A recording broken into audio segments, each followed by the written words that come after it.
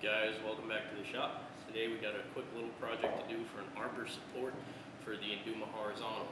So I have a 7 8 arbor and I have a couple 7 8 cutters that I want to make use of this arbor on. Fortunately right now I don't have any spacers for it for the uh, steel bushing that rides up in the brass bushing on the overarm support. So I'm taking one of this, one of the inch and a quarter spacers I'm going to model a spacer off of that diameter with a 7 8 bore that I can use on this arbor. So what we're going to do is we're going to take this piece of, uh, this I believe is 4140, um, and we're going to turn this to 1.875 OD, which is right now the diameter on this part. So I'll just check that again. And I haven't tested the bore on the overarm support with the, uh, with the telescoping gauge yet, but this is reading right now a thou under inch and 7 eighths. So uh, we'll, we're going to go ahead and take this part, we're going to drill it uh, 55 64ths, just drill bit size under 7 eighths, and then we'll go ahead and take a 7 eighths reamer, and right now I have sleeves on these from Morse Taper 2 to Morse Taper 3. We'll go ahead and ream that hole out, and then we'll go ahead and put this onto this arbor. Um, maybe before that we'll broach a key in here so we could drive it on this arbor, and then on the lathe I'll actually turn the diameter of this true with the arbor so then I can have a good reference point so the bushing will ride true. Um, first thing we're going to do is we're going to go over to the lathe, face off this part, and then uh, go ahead and drill that hole and ream it. And I'm going to be using a DNMG cutting tool. It's a DNMG 345, I believe. Um, it's a ferrous cutter, and it does a good job with this material.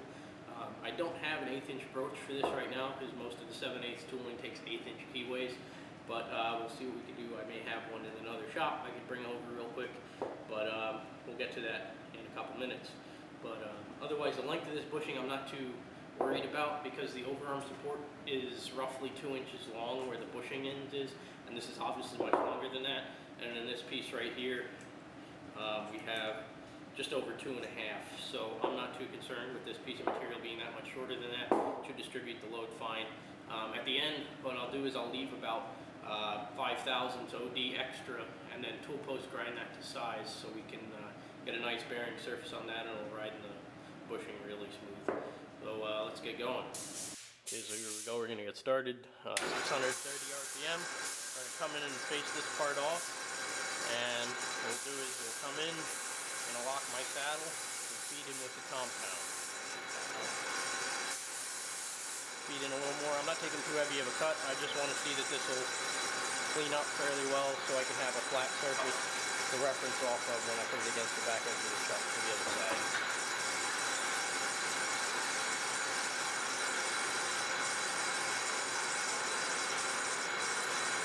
And we'll go ahead and power feed on the back.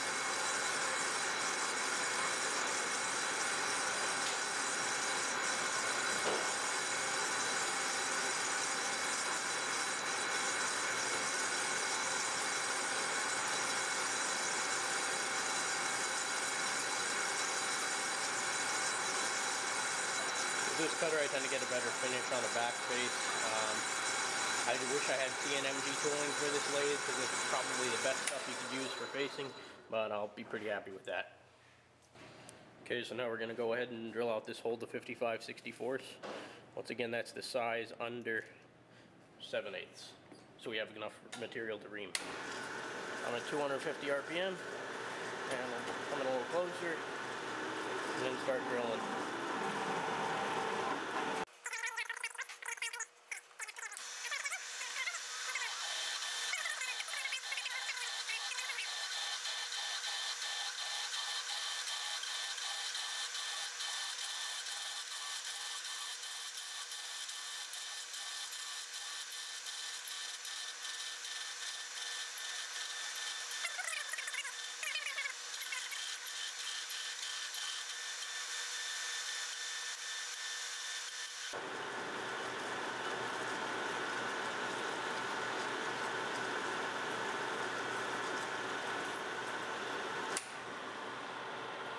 Here we go, we're gonna ream this now to 7 8 and I got this running at 250 RPM and I'm gonna go with a fairly fast feed.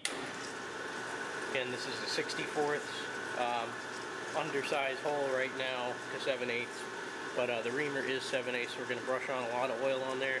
The reamers love oil. Um, And from there, we'll go ahead and start plunging.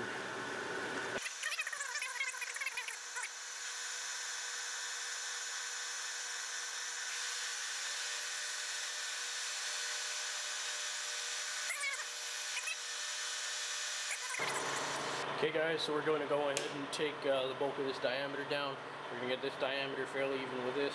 Uh, right now you'll see a little run out because uh, on the outside diameter, like I said before, I wasn't critical. I haven't actually touched it off yet, but uh, we'll go ahead and start cutting.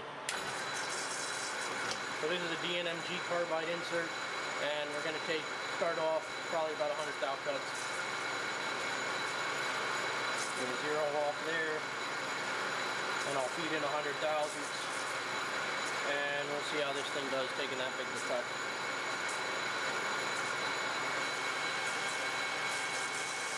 And we'll fine.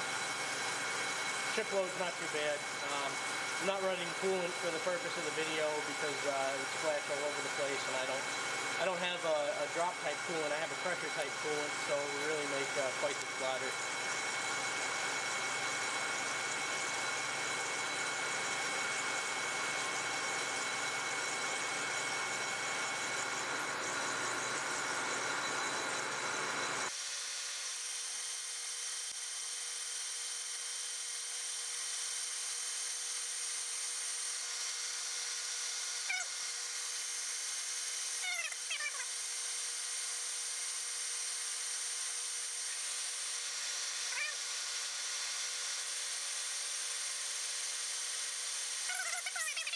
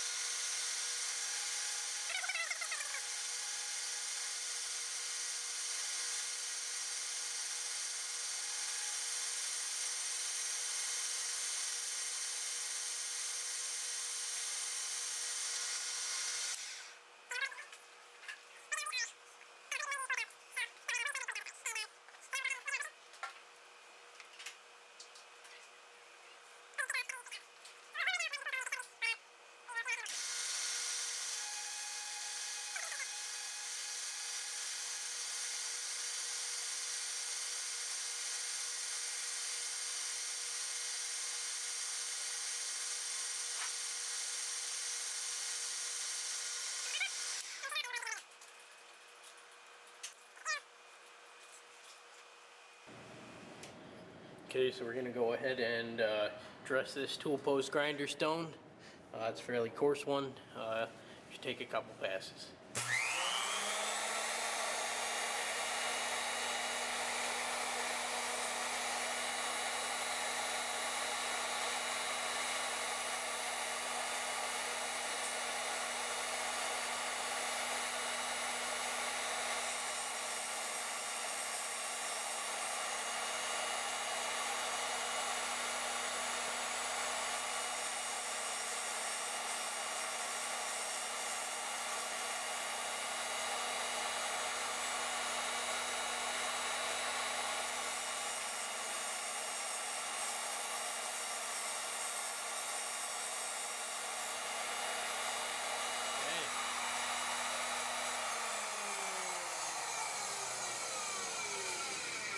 I'll go ahead and remove the uh, dresser.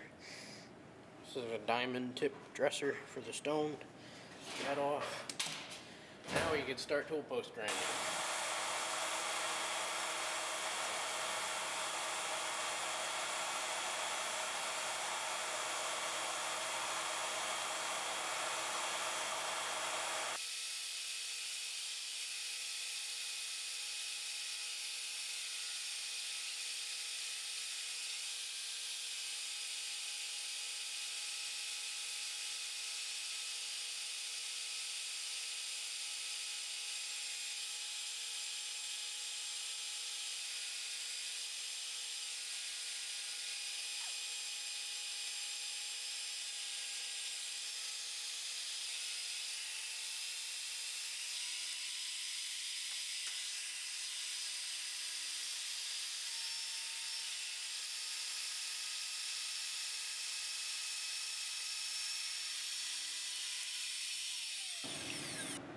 Guys, so we got the arbor bushing all done.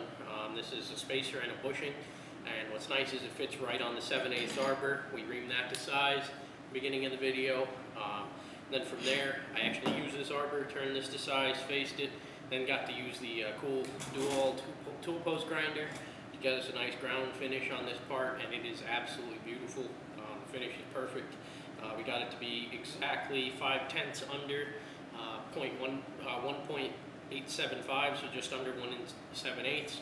And this is like a perfect fit into this bushing on the front end for this overarm support. So now I have access and I can now use my 7 8 arbor.